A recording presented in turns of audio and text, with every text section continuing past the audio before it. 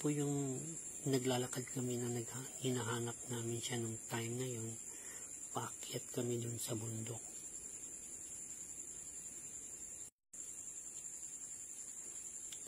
Tuloy-tuloy yung akyat namin. Medyo pinutol-putol ko kasi yung video kasi sobrang ma mahaba para ng pelikula to pag binuo ko po yung video yung paglalakad namin. Ito, kaya po gumagapang yung isa kasi matirik po yung bundok na inakyat namin. Nag-iisang babae sumama para maghunting ng ahas. Ayun.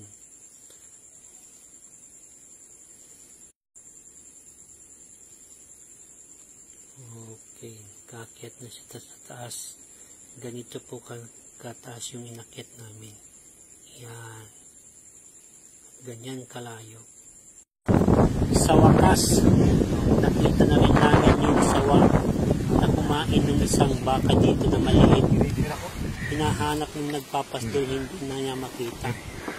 Ngayon, one week na namin hinahanap, hinahanap yung ahas. Ngayon lang namin nakita. So, hindi namin siya mapuntahan sa baba kasi medyo delikado. Masyadong mababa yung pwesto niya. Kaya magandang gawin dito. Pasensya na. Wala po talaga, hindi po namin talaga nakuha yung ahas kasi walang may gusto na bumaba.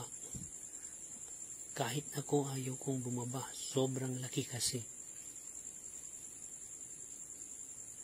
Hindi ko nakaalam kung nasaan na siya ngayon. Ewan ko kung nandyan pa o umalis na.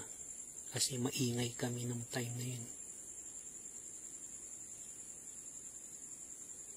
Ayan siya, sobrang laki.